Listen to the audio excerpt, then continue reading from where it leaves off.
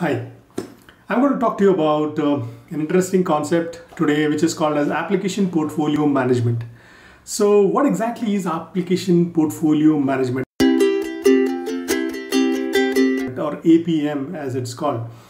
Uh, so there are various tools that are actually built around APM. So I've been to companies wherein they've got 1400 to 1800 IT applications that are required to run their IT arsenal or the IT landscape.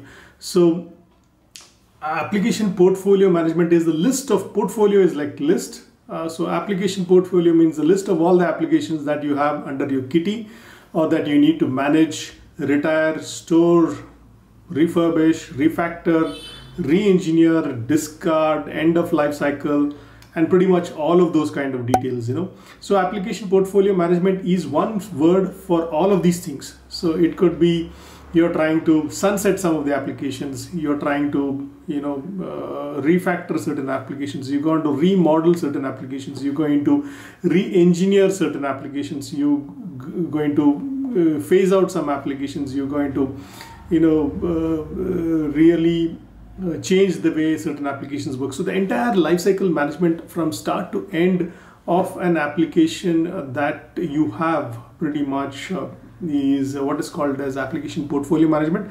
In large uh, uh, enterprises, this is a huge task for an architect because he has to, he is responsible for n number of applications that are under his kitty and he needs to understand how to manage them, how to go about their life cycles and uh, ensure that you know there is more bang for the buck in terms of whether they are well maintained, are we spending too much on them, uh, is the maintenance uh, due, uh, are all the uh, applications compliant, so any small change in any one of the applications can trigger a compliance issue or a regulatory issue, for instance. So you need to, it's a huge topic all by itself, application portfolio management. And um, it is, uh, uh, of course, now there are no such big monolithic applications, but there are a lot of microservice applications, but still applications.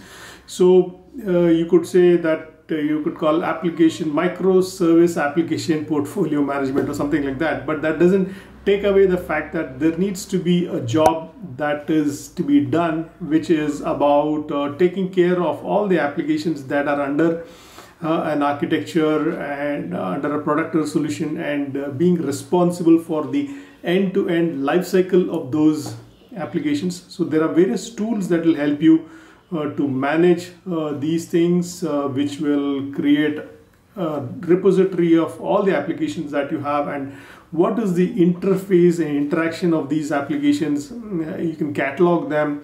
You can create artifacts catalogs and matrices out of these things. So if you are to look at uh, how to manage uh, this entire portfolio of things you can look up uh, the list of artifacts, catalogs and matrices that you could create for the application uh, stack per se which will help you to reduce the architecture complexity. Because architecture complexity is all about the traceability and the transparency that you need to understand how things are being modeled end to end IT for IT is a good reference framework for doing something like that. You can use TOGAF uh, to do parts of the application portfolio management. And a combination of all these things will help you get a grip on how you can manage applications end to end. So this is uh, a skill that is quite useful for an architect uh, when he is uh, looking at managing applications and uh, the IT stack as such on a day-to-day -day basis. So thank you very much and stay tuned uh, for more such updates. Do like, share and subscribe this video for more such tips and tricks.